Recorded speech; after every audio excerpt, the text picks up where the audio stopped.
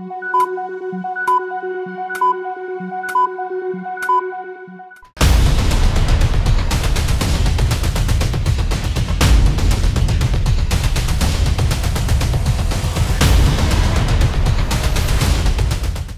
में communist party के इजलास से सबक सदर को ज़बरदस्ती निकाल दिया गया।